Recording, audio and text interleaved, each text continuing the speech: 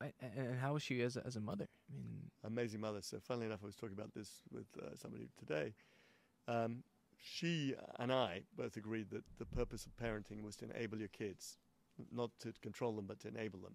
yes. So we give them the tools that enable them to do whatever they need to do. Um, now, I, I did this by just basically, you know, sort of what, sitting back and watching Lucy doing it. So I, I enabled Lucy to enable the kids. So she, she resented that a bit because she felt that I had all the fun and she had all the hard work, but she was true. But um, that's generally nah.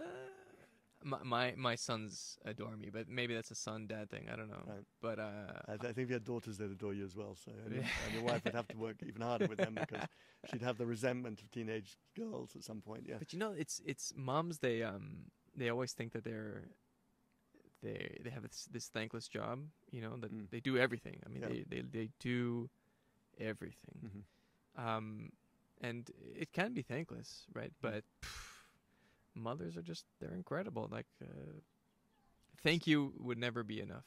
I Right. think you know. Yeah, absolutely. Um, So, so she brought up these kids to be completely independent and enabled, and that is why Maia and Rina were also amazing people in their own right because they weren't, you know, kids who stayed at home and expected their mother to do everything. They Yeah. were completely independent.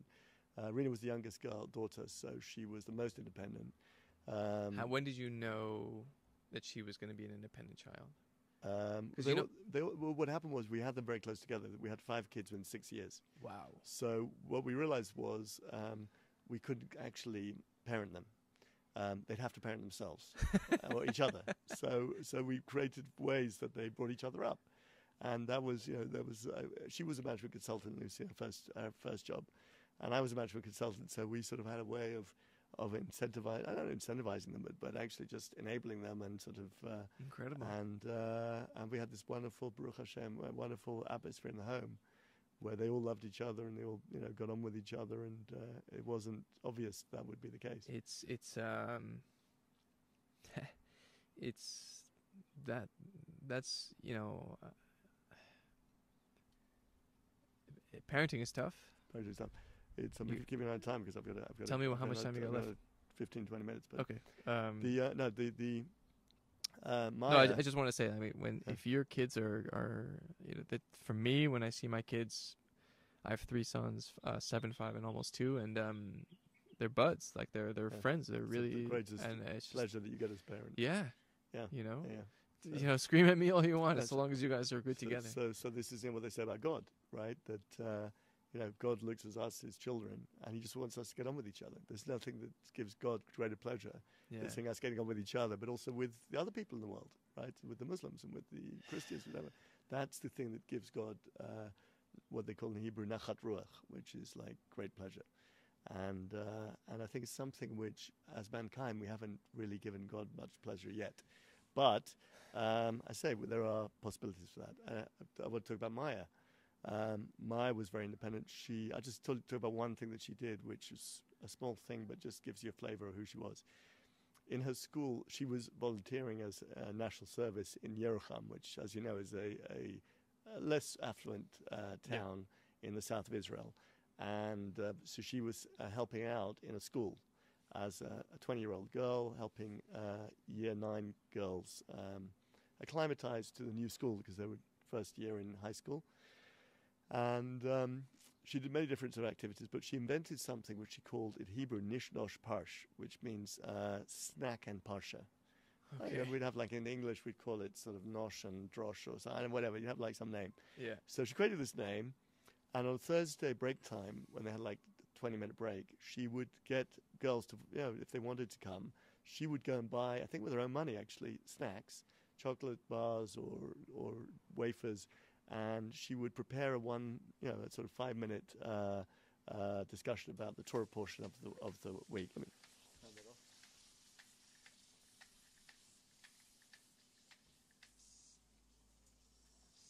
turn.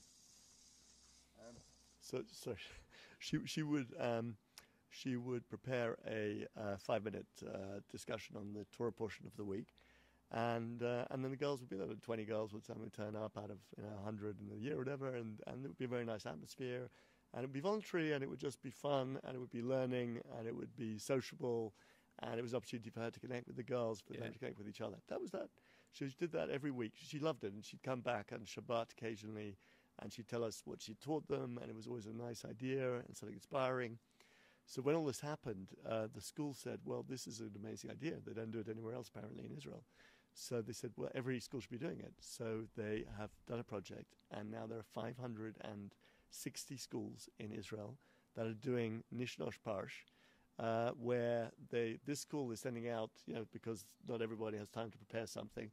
The girls in in in, in Yerucham are preparing the the, the, the page of learning.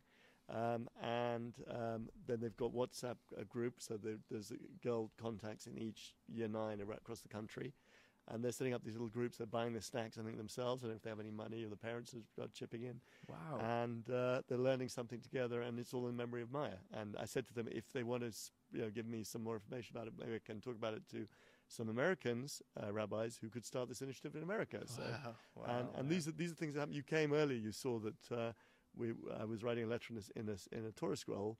Uh, well, I've got a group here that want to basically take this Torah scroll around the whole of Israel and get every every child, man, woman, and child Mhm. in Israel to write a letter in the Torah scroll, um, and in America and across the world. They want to actually get 50, 50 scrolls would have enough letters, 15 million letters, which would enable every Jew in the world to write a letter in a, in a Torah scroll. And The uh, idea being like to spark their curiosity and their to tradition. to, to educate, spark the curiosity, and to create a feeling of unity and Mm. between the Jewish people. So these, so I- could tell you a hundred projects like this that are going on at the moment around the world, which are, Yeah. are just incredible. And then I'm talking about uh, Rina. So Rina um, was the girl who, in her class, and, and every year this is what happened. Uh, the teachers would tell us that um, if there was a girl at the back of the class who had no friends, Rina was there with her arm around her. If um, there was a girl who wasn't included in the ball game, Rina would start a new ball game. And Wow. her friends recently made, literally yesterday, made a video, uh, professionally produced with uh, in a in a studio with you know, them singing and uh, I think um, and uh, pictures of of Rina um, and and you know and and, and a story about uh, her life, uh, which was you know having in tears for four minutes. Um, but every picture she was with a different group of girls, and that's who she was. Um. So what was that day like? Um, to be honest, just shock. I mean, uh, and and uh, my response to shock um, is adren- adrenaline, and I was just like completely uh, uh, awake and completely sort of, you know, we have to, when when we found out that it was their car, we had to drive as quickly as we could to the to that spot. Did you have any hope? Um, we had hope, and when we got there, we said, "Which car is it?" They said it was a, a Kia, and ours was a Micra. So we thought, "Oh my goodness, maybe, maybe we it's not then, uh, whatever." So uh, and then when we discovered it was them uh, for sure because they handed me Maia's ID card. Uh, then I drove straight down to Jerusalem because we knew that Lucy was in hospital having an operation, and then you know, family and friends started turning up, and Karen, who had been uh, not with us at the time, she was in Jerusalem. She was there, and and and and and, and I, I don't think I cried particularly. I just was very, you know, uh, uh, mindful uh, that we had to do the things we had to do. Um, and now it's hitting me much more. Now I'm crying much more, which I think is healthy, and the kids are crying, you know, on and off. Because you thought you needed to keep it together for your family. I, th- I think it's so unreal. You know, if, if God forbid you, someone has a family member who's in hospital with cancer for 10 years and you're sitting by the bedside and this happens, I think, you know, then you cry immediately and, uh, you know, all the feelings happen. If, you if it's God forbid a par- an elderly parent who dies, so you cry and, you know, you feel the feelings immediately. I think when something like this happens, it's just so unreal. It, it's, uh, they, they disappeared, you didn't see them. Um, and you don't see them the next day, you don't see them the next day, and then at some point, you realize you're not going to see them ever again.